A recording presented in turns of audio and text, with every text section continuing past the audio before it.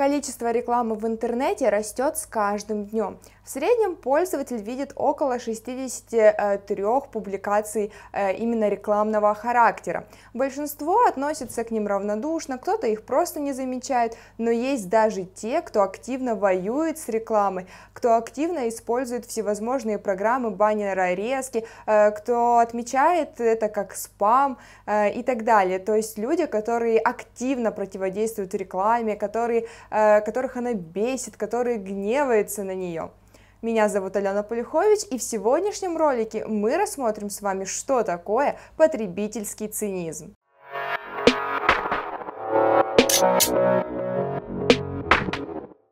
Почти около 11% людей готовы активно сопротивляться рекламе и бороться с ней всеми возможными э, средствами. То есть это не просто баннерная слепота, когда человеку все равно, и он просто не замечает рекламный баннер и проходит мимо. Нет, эти люди как раз-таки готовы пойти на все, потратить кучу времени, использовать все возможные средства для того, чтобы бороться э, с маркетологами. Если мы проведем аналогию с реальной жизнью, то это можно назвать э, подъезды домов, лифтов, где вы все не единожды видели вот эти все возможные объявления, которые приклеены как в лифте, так и просто на дверях, так и на специальных досках объявлений. И большинство людей просто пройдет мимо, они не будут обращать на это внимание. Но будут и те люди, которые будут гневно сдирать и выкидывать эти объявления. И э, если вы спросите, почему они так делают, то ответ будет вовсе не в том, что а, они что-то делают э, не по закону, то есть объявления наклеены не там, где они должны быть. Нет, просто вы услышите гневные надоели уже, они бесят. А, но если в подъезде мы можем сорвать и выкинуть объявление, то вот в интернете так просто удалить объявление не получится. И поэтому в ход идут все возможные программы, а, которые помогают навредить рекламодателю. Но сперва мы разберемся вообще в причинах такого явления, как потребительский цинизм. Еще в 2010 году маркетологи начали говорить о надвигающемся потребительском цинизме, и вот даже я нашла а, исследование Филиппа Аду и Паулина Першера, где они говорят о том, что уже 10 лет как активно э, хейтятся те компании, которые путают немножечко рамки маркетинга и выходят за их пределы. Еще в 2019 году на площадке Sync with Google Тим Скотт, директор по маркетингу, а, директор компании Land O'Lake, сообщил о том, что а, компании должны больше заботиться о том, предоставляя свой продукт, а, чтобы не выглядеть э, как э, компании, которые стараются любыми средствами и способами впарить свою продукцию. Он говорит в своем исследовании о том, что сплошь и рядом компании, обычные пользователи а, попадаются в уловку а, маркетинга. А, и он ни в коем случае не призывает отказываться от маркетингового подхода, но пересмотреть его. Рекламы становится очень много, и, соответственно, порой, переходя на тот или иной сайт, мы даже иногда не понимаем, а куда же мы попали. Это мой любимый сайт, это именно тот сайт, где я хотела посмотреть там сериальчик или фильм, или же это целая рекламная площадка, потому что со всех углов сайта на нас смотрят какие-то баннеры, и каждый баннер практически говорит то же самое, купи акции здесь и сейчас. То есть э, люди начинают понимать, что, например, вы покупаете что-то на Алиэкспрессе там за 20 рублей, делаете маржу в 400%, создаете быстро лендинг с этим товаром, говорите, что купите, купите только здесь, сегодня и сейчас, там 2 часа до конца скидки акции, там покупайте за 2 500 а, рублей э, только этот девайс, и это супер выгодное предложение э, и супер дешевое. И постепенно, постепенно люди начинают понимать, что здесь что-то не так, копится недовольство, негатив, что и называется потребительский цинизм. Посетители начинают понимать и думать, что за ними следят, в частности это относится к контекстной таргетированной рекламе, потому что мы сами знаем принцип ее работы, человек вводит там купить iPhone 6 и вот а, через э, секунду буквально он начинает посещать любые другие сайты и его везде навязчиво начинает а, преследовать реклама с этими айфонами и с предложениями купить недорого здесь, сейчас а, в рассрочку. А, ну а когда мы там, не знаю, скроллим ленту, где-нибудь ВКонтакте, например, или слушаем аудиозапись, и нам тоже э, начинают говорить предложения поступать о работе, о вакансиях, а мы недавно пересмотрели какие-то сайты с вакансиями, то, конечно, мы заподозрим что-то неладное. И вот здесь у меня сейчас на экране открыт скрин, э, где некоторые особые маркетологи, они уже не стесняются и пишут э, в личные сообщения или же э, в сообщения на телефон пользователю свои рекламные предложения. Ну и, конечно, обычно пользователи начинают думать, что за ним следят, это, конечно же, не очень приятно. Плюс, конечно же, вот такое обилие рекламы, оно просто элементарно мешает серфингу по интернету. А, мы заходим на сайт, видим рекламу, а, и вот в этом примере здесь еще это как-то более или менее, а, но обычно зачастую куча рекламы, куча всплывающих баннеров, они могут закрывать полностью нужные нам кнопки, навигации, меню и так далее. И очень часто бывает так, что нам очень сложно вообще убрать рекламу, рекламу, потому что мы нажимаем на крестик, часто вы видели э, сообщение, что нужно еще дальше нажать «мне не интересно», после этого может появиться другая реклама, и часто нам просто невозможно убрать эту рекламу, очень сложно, и вот мы уже сидим пару минут как на сайте, а, а никак не можем добраться до того, чего нам нужно, потому что на нашем пути постоянно стоит реклама, которая не закрывается. По данным исследования Infolinks, всего лишь 3% людей считают рекламу адекватной своим запросам, остальные же 97% а, считают, что эта реклама вообще мимо кассы и не имеет к ним никакого отношения, и возникает вопрос, зачем мне показывать рекламу товаров или услуг, которыми я не пользуюсь и не интересуюсь, и, конечно же, это раздражает, и здесь, конечно, срабатывает несовершенство поисковых систем, а поисковиков, особенно того же Яндекса, когда вы хотите в Википедии найти какое-то определение, например, что такое работа, не знаю, вы там пишете реферат или там доклад, да, а потом у вас просто на каждом сайте а, будет преследовать реклама с работой, с выгодными вакансиями, заработок от и так далее. Ну и, конечно, это не может не раздражать пользователя. Крупные даже бренды очень часто ошибаются на попытках на хайпе э, приспособиться к этому потребительскому цинизму.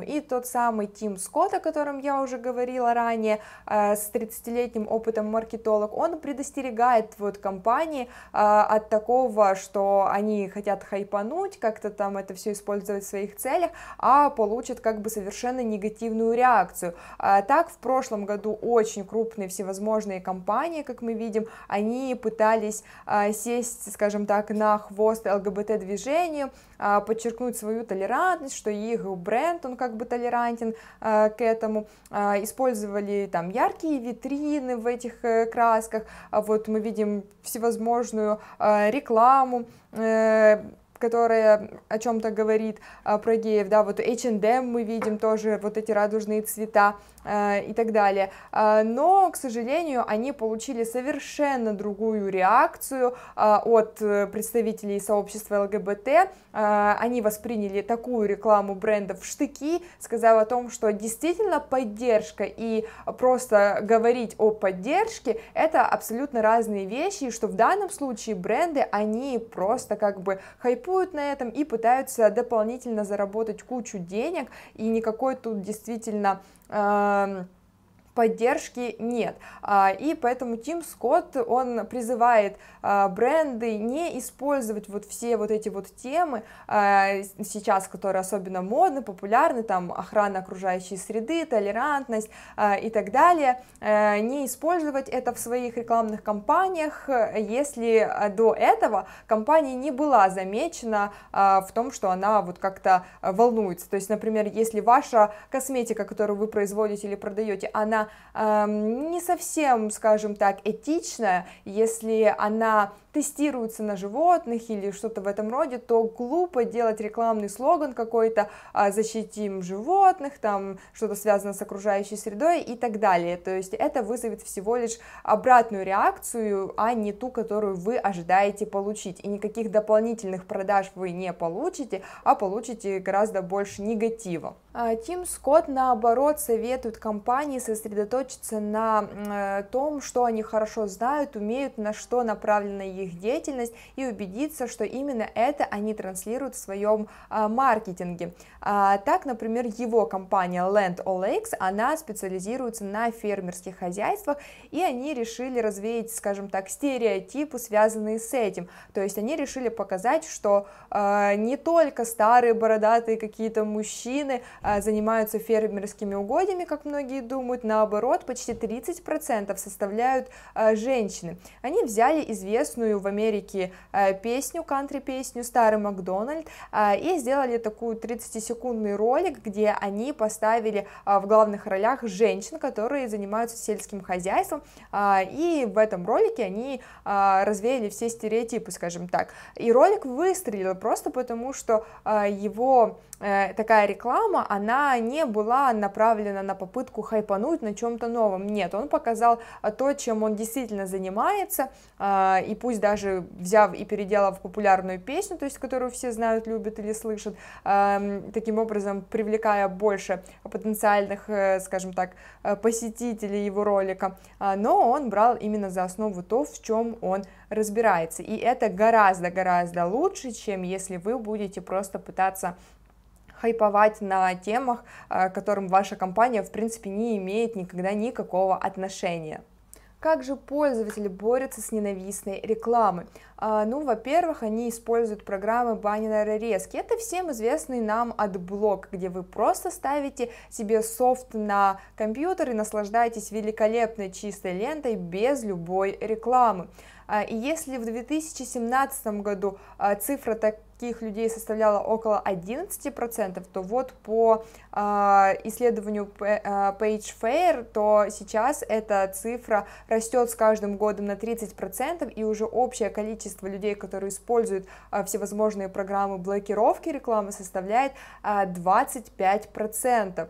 То есть целых 25% людей устанавливают программы и не хотят видеть рекламу. И, конечно же маркетологам это э, достается очень плохо от этого становится, потому что э, вы просто впустую тратите э, свой, свой бюджет на рекламу, ну и, конечно, пользователь не увидит предложение, которое, возможно, бы его э, заинтересовало. Но по данным исследователей э, того же PageFair, э, люди, некоторый процент людей, они не против видеть рекламу, на сайтах, но чтобы она была умеренная, то есть чтобы ее не было чересчур, а несколько там а, баннерочков, которые будут отвечать их а, требованиям, они в принципе готовы а, потерпеть. Ну и как же бороться с таким явлением тогда, спросите вы. Во-первых, вы можете использовать всевозможные программы, такие же как PageFair, а, которые помогут обходить блокировщики рекламы, но используйте их осторожно, так как они ухудшают все-таки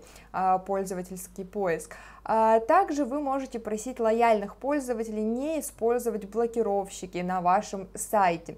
А, можно также вносить изменения а, в код э, сайта, и таким принципом пользуется Facebook. Он делает просто невидимые баннеры а, для вот таких вот обходчиков рекламы. Но это очень время затратный и дорогой способ, и не факт, что он будет работать хорошо на 100%.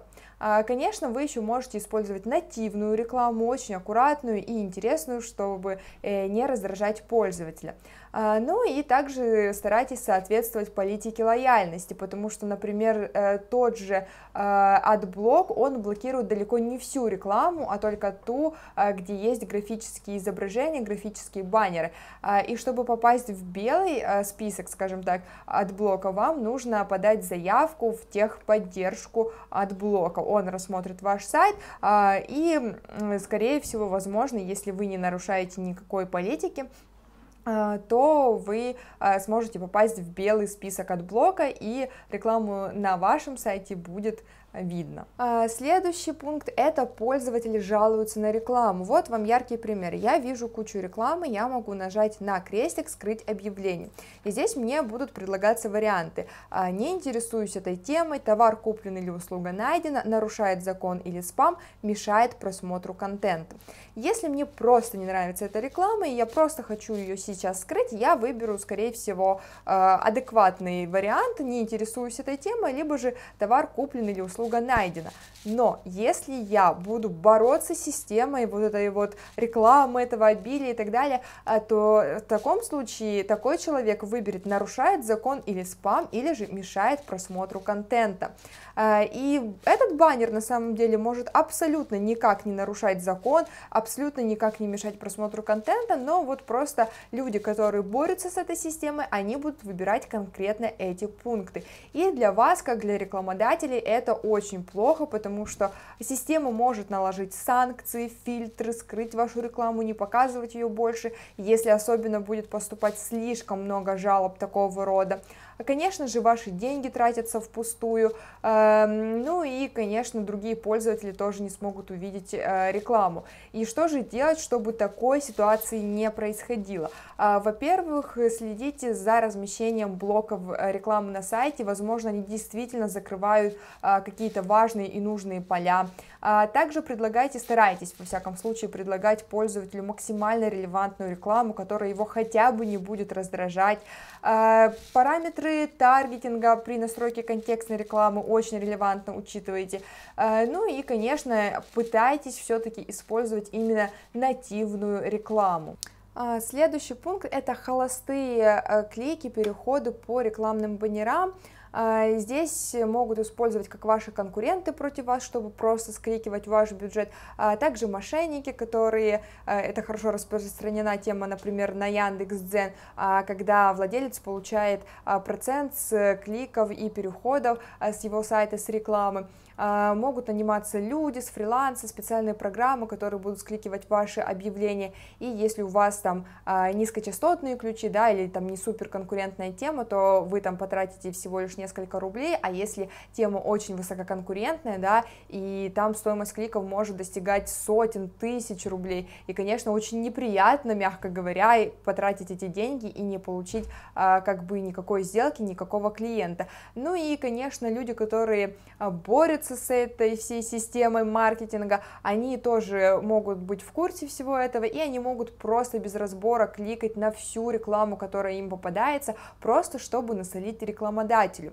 А, и, конечно, это очень плохо для рекламодателей, потому что это грозит и сливом бюджета, и всякими санкциями от Яндекса и Гугла, и ухудшением поведенческого фактора. И самое прискорбное это то, что бороться вот именно с этим пунктом очень и очень тяжело, и нужно просто просто максимально релевантно стараться настроить рекламу а, на максимально нужных нам пользователей, на максимально нужные нам каналы, проверенные и хорошие, если это там КМС или там РСЯ.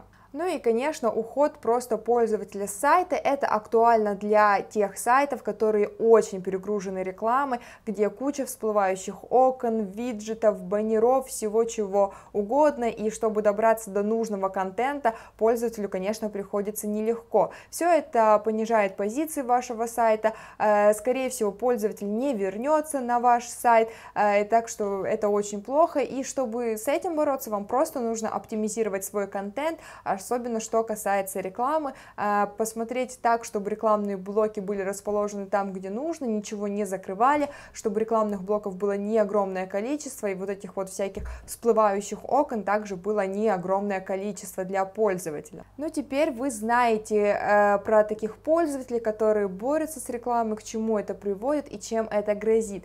И, к сожалению, ситуация будет усугубляться, потому что э, рекламы становится больше, товаров становится больше, конкуренции становится больше. А, и чтобы не пострадать, то вам нужно просто поставить себя на место обычного пользователя, понять, что его раздражает и как сделать так, чтобы пользователя меньше раздражал ваш сайт, меньше раздражала реклама, стараться делать интересную рекламу, а, нативную рекламу, а, рекламу, которая будет отвечать ожиданиям пользователям, которая нужна ему именно здесь и сейчас, и она ему действительно нужна, а не просто так он видит все подряд. Таким образом, вы сами увидите недочеты и поймете, как сделать рекламу лучше. Пишите в комментариях, э, как вы э, боретесь с рекламой, если боретесь, раздражает ли она вас или нет, какая реклама вас раздражает, э, или же если вы владелец бизнеса и пускаете рекламу, как часто вы страдали вот от действий таких людей, когда реклама просто в тупую там скликивалась, на нее жаловали, жаловались и так далее. Ну а если вам понравился этот ролик, он был для вас полезен, обязательно ставьте лайки, подписывайтесь на наш YouTube канал, канал. Также вступайте в нашу телеграм-группу, где вы можете обсудить все вопросы, которые связаны с SEO-продвижением и контекстной рекламой. И, конечно же, не забывайте слушать наши аудиоподкасты. А, и до новых встреч!